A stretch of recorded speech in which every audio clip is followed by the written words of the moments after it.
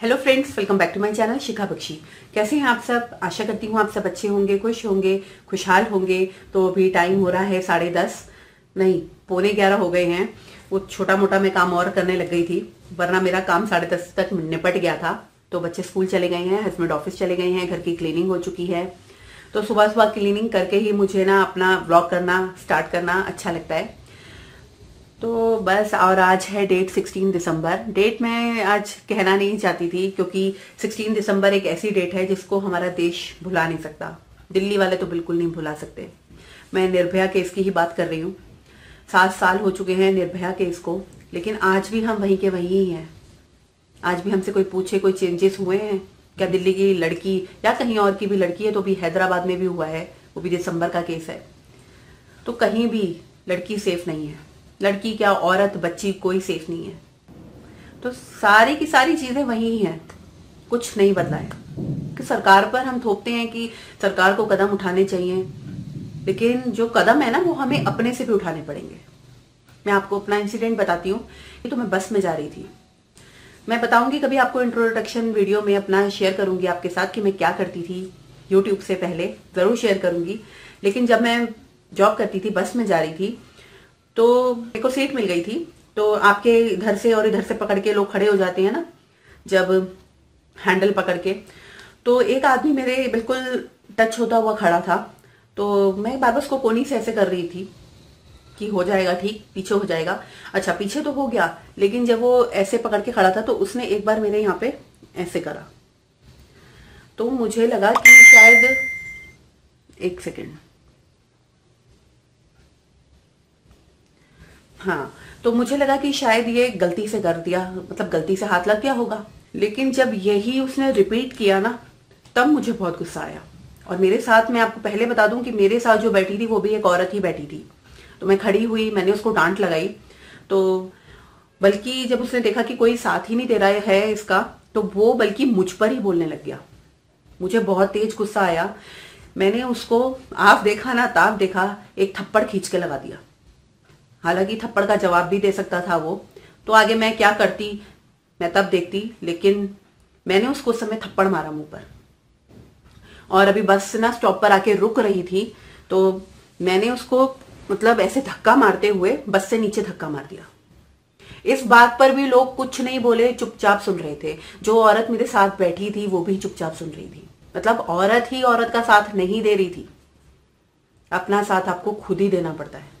मैं बिल्कुल सहन नहीं करती हूँ कि आपके साथ कुछ गलत हो रहा हो या किसी और के साथ भी हो रहा होगा ना तो मैं ज़रूर बोलूँगी इस बारे में।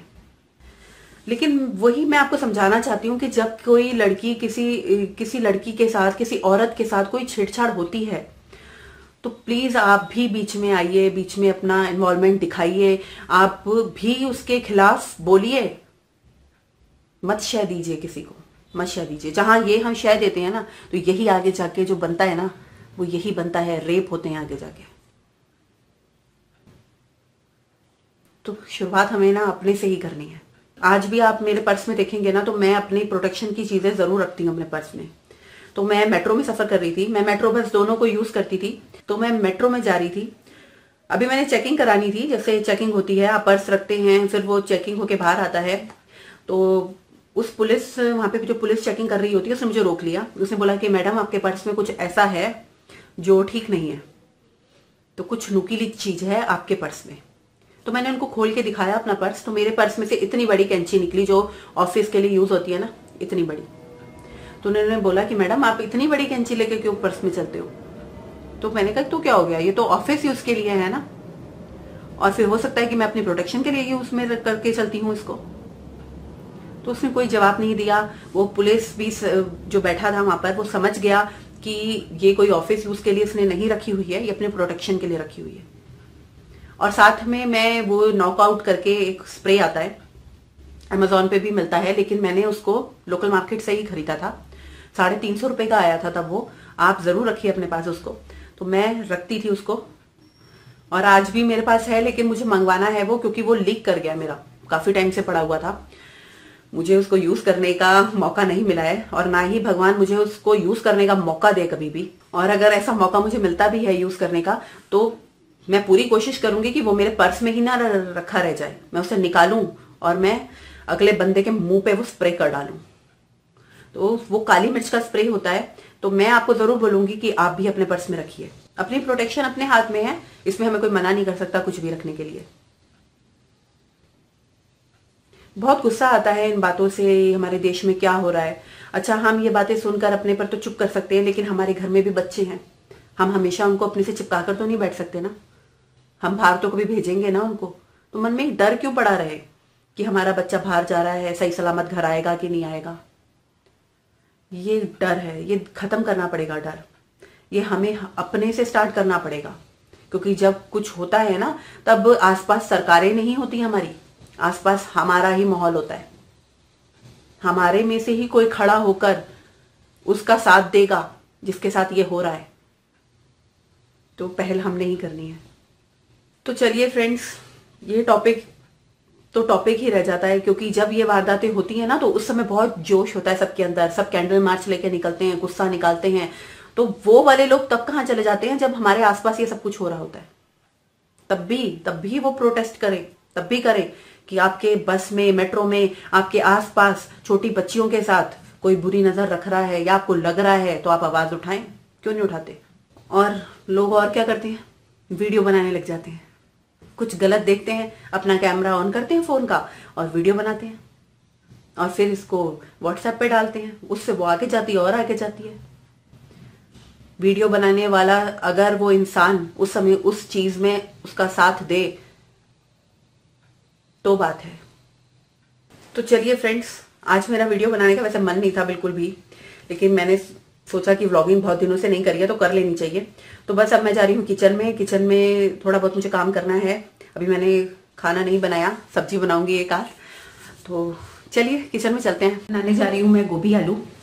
गोभी आलू की ही रेसिपी शेयर करूँगी। बहुत सिंपल तरीके से बना रही हूँ। ये एक फूल पड़ा था गोभी का, और एक ये ऐसे हो गया है। क्योंकि मेरे हस्बैंड आज गोभी के परांठे खा के गए हैं। तो थोड़ा सा मैंने निकाल लिया था इसके अंदर। तो बस यही बनाऊँगी।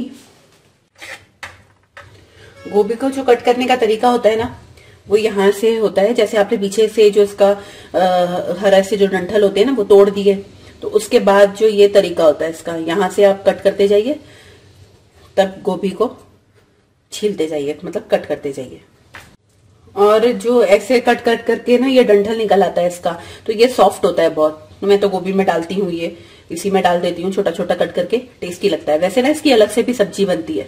ग्रेवी में भी डाल सकते हैं तो टेस्टी लगता है ये। तो बस, इसको भी डालूँगी मैं छोटा छोटा करके। बाकी इसको ऐसे कट करते जाइए गोभी को, ये निकलता जाएगा एक एक फूल अलग, देखिए। ये देखो, ऐसे कट करते हैं इसको। ठीक है? और ऐसे ही इसको बीच में से आप छोटा करना चाहते हैं तो बस छोटा कर दीजिए।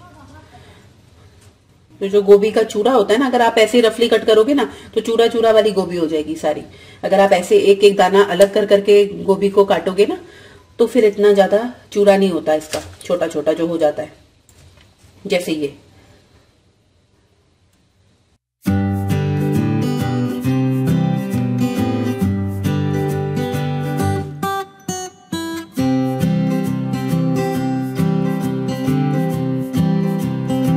गोभी को भी मैंने पानी में डाल दिया है, जैसे पानी गर्म होगा और उसके बाद भी गैस ऑफ़ करके ये एक दो मिनट तक इसी में पड़ी रहेगी।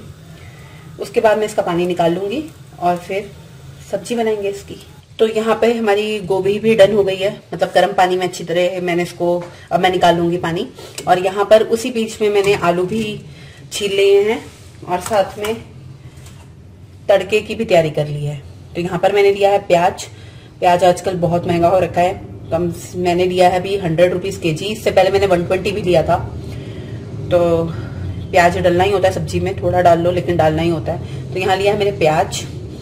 और टमाटर नहीं डाल रही हूँ मैं गोभी आलू में। उस तरीके से भी बनाती हूँ, वो कभी और दिन शेयर करूँगी। और ली है एक हरी मिर्च, क्योंकि हर्षो भी खाएगा तो बहुत तेज हो जाएगी मिर्च। तो हरी मिर्च सर्दियों की सब्ज़ी में अच्छी लगती है, इसलिए मैंने एक ले ली है। अदरक लहसन मैंने थोड़ा सा ज़्यादा करके ले लिया है। कम से कम यहाँ पे मैंने दो मोट, नहीं, तीन मोटे वाले लहसन लिए हैं, जो बड़े वाले होते हैं वो। और ली है अदरक अदरक भी एक इंच अदरक ली है। तो कढ़ाई में तेल गर्म हो गया है, अब मैं डाल रही हूँ उसमें जीरा। और डालूँगी थोड़ी सी हींग। और साथ में ये अदरक, लहसन और हरी मिर्च, मैं दोनों ये सबको इकट्ठा ही डालूँगी।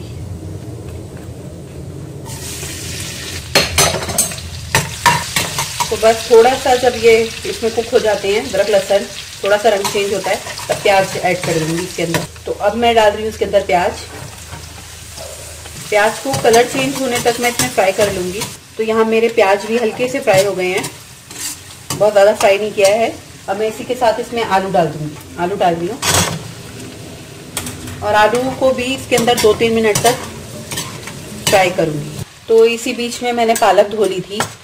तो पालक पड़ी थी तो मैंने कहा कि क्यों ना पालक वाला आटा गूंद लिया जाए।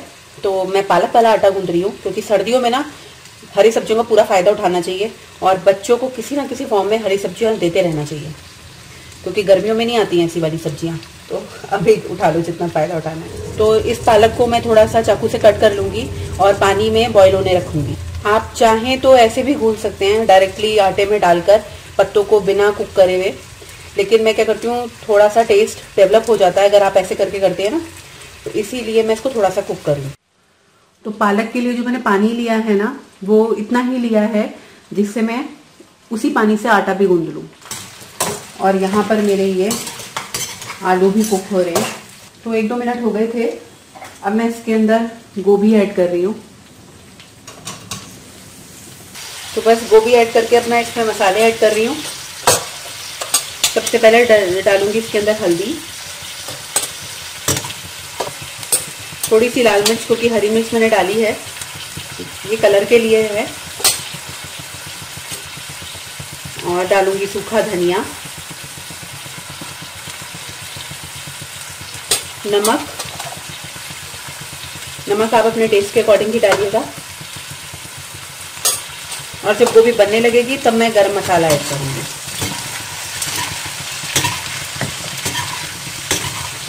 अच्छी तरह इसको मिला लूँगी। तो सब्ज़ी को अच्छी तरह मैंने मिला लिया है और सिम फ्लेम पर अब इसको ढक दूँगी और बीच बीच में इसको मैं हिलाती रहूँगी, क्योंकि हमने इसमें पानी नहीं डाला है, इसलिए इसको हिलाना ज़रूरी है बीच बीच में।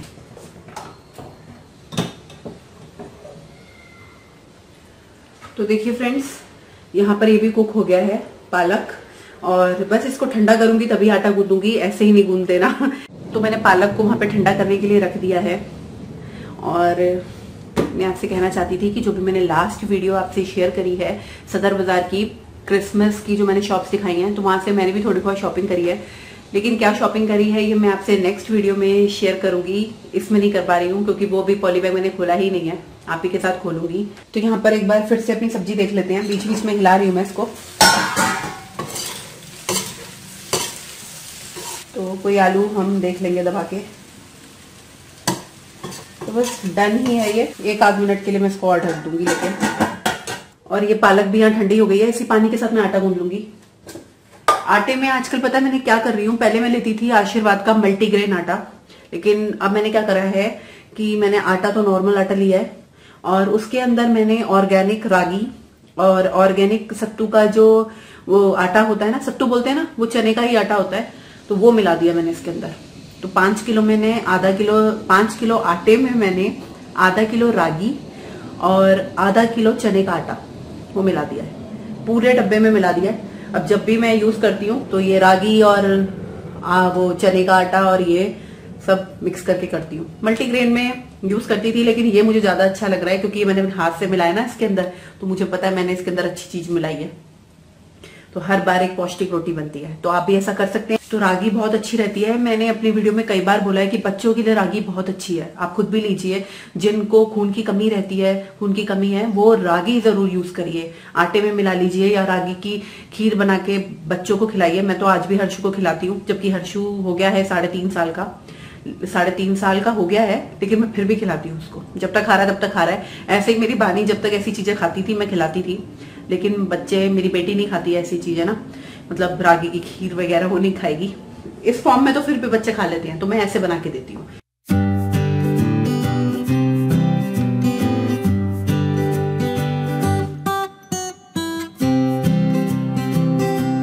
गूंद लिया है और जो रागी की रोटी होती है ना थोड़ी सी ब्राउनिश में ब्लैकिश में बनती है और इसके अंदर छोटे छोटे से ये दाने भी दिख रहे होते हैं रागी के काले काले से। तो बस, ये आटा गूंद लिया है। अब इसको रख दूँगी थोड़ी देर, घी का हाथ लगा के फ्रिज में। और जब लंच बनाऊँगी, तब इसको यूज़ करूँगी। तो आज हम इसको लंच में भी खाएँगे, इसी आटे को, और हम डिनर में भी यही खाएँगे। हरी हरी रोटी वो डन है। क्योंकि इससे पहले ही वो डन हो गई थी, मैंने थोड़ा और चला दिया इसे। बस सब्ज़ी बन के रेडी हो गई है। तो बस मैं लेकर आऊँगी बाहर से हरा धनिया क्योंकि इसमें गार्निश करने के लिए हरा धनिया भी चाहिए। तो जा रही हूँ हर्षु को लेने। तो चलिए फ्रेंड्स हर्षु को लेके आती हूँ फिर मैं आपसे मिलती हूँ। बस मैं हर्षु को ले आई थी स्कूल से और आधी दफ़ा मैं हरा धनिया भी लेकर आई हूँ। और बस उसी से इसको गार्निश कर दूँगी। और रोटी बनाऊँगी भूख लग रही है। और दोबारा सब्ज़ी एक बार अच्छी तरह गर्म करूँगी क्योंकि सर्दियों में ना सब्ज़ी जल्दी से ठंडी हो जाती है। और मैं रोटियाँ बना लूँगी। हर्षु की और अपनी बनाऊँगी अभी। बानी को जब आएगी तो गरम गरम फुल्का बना के दूँगी तो आज क्या था कि बच्चों का पेपर चल रहे हैं, एग्ज़ाम चल रहे हैं बच्चों के। तो आज बानी का साइंस का टेस्ट था। वो देने गई है वो। लेकिन क्या था कि कल से ही ये चल रहा है कि छुट्टी है छुट्टी है स्कूल की। क्योंकि आपको पता होगा, अगर आप देख रहे हो न्यूज़ तो पता होगा कि दिल्ली में क्या चल रहा है। तो पहले मुझे था कि हस्बैंड देखेंगे, लेकर आएँगे स्कूल से, कुछ ऐसा ना हो। क्योंकि बच्चों का बहुत डर लगता है जब बच्चे अकेले जाते हैं और दूर जाते हैं। तो ऐसा कुछ नहीं है, अभी तक तो सब ठीक ठाक है। बस, अगर एग्ज़ाम नहीं होता ना, आज तो मैं उसकी छुट्टी करवा देती।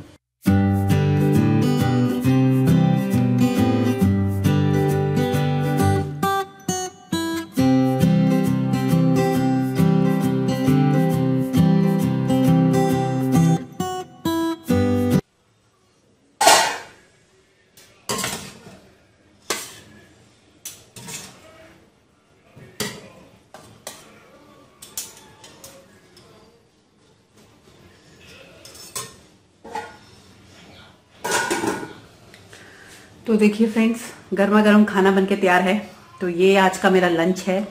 ये है पालक वाले पराठे। पालक वाले पराठे नहीं है, जो रोटी पे घी लगाते हैं ना, रोटी उतार के, वो मैंने तवे पे ही लगा के इसको सेक दिया है रोटी को। तो ये पराठा नहीं है, रोटी ही है। तो पालक वाली रोटी और साथ में गर्मा गर्म सब्ज़ी। तो धुआँ कैसे निकल रहा है, इसमें भी दिख रहा है। अब मैं जा रही हूँ, इसमें से एक रोटी हर्षु की, दो रोटी मेरी। तो हम खाने जा रहे हैं। और सब्ज़ी मैं काफ़ी सारी खाती हूँ सब्ज़ी की मैं बहुत शौकीन हूँ। तो सब्ज़ी, रोटी खाऊँ ना खाऊँ, लेकिन सब्ज़ी मैं ज़रूर खाती हूँ और वो भी रूखी रूखी बहुत सारी खाती हूँ। तो ये भी आ गया है टीवी देखते देखते। इसने करना है हाई गाइस कर दो हाई गाइस बोलो। बोलो ना। अभी तो कह रहे थे आपको करना है। हेलो करनी है आपको सबसे कर दो। शर्म आ रही है? और आपके हैंड में क्या है ये दिखाओ। ये क्ले से नहीं खेलता है ये आटा लेके जाता है किचन से और ये उससे खेलता है है ना? चलो जाओ मम्मा लोती खिलाइए आपको है? आटा। नहीं बस आटा और नहीं है खत्म हो गया रोटी बन गई है देखो। तो फ्रेंड्स वीडियो का एंड करूँगी और आज की वीडियो में कई सारी समझदारी की बातें करी हैं। ये सिर्फ़ समझदारी की बातें सिर्फ़ बातें ही ना रहे हमें इन पर गौर करने की भी ज़रूरत है। इन पर शुरुआत अपने से ही करने की देर है। और साथ में मैंने शेयर किया आपके साथ अपना सिंपल सा लंच रूटीन अगर वीडियो पसंद आई है तो प्लीज़ लाइक करिएगा वीडियो को शेयर करिएगा. आपके कुछ सुझाव हैं, आप कुछ मेरी वीडियो के बारे में अपनी सुझाव देना चाहते हैं, अच्छी लगी है वीडियो तो कमेंट्स करिएगा. और मेरे चैनल पर नए हैं, मेरी वीडियो को पहली बार देख रहे हैं तो चैनल को सब्सक्राइब कर लीजिए. और अगर आपने सब्सक्राइब कर लिया है तो बेल आइकन को ज़रूर हिट करिएगा, जिससे मेरी हर न्यू वीडियो का नोटिफिकेशन आपको मिलता रहे. तो फिर मिलेंगे एक नई वीडियो में.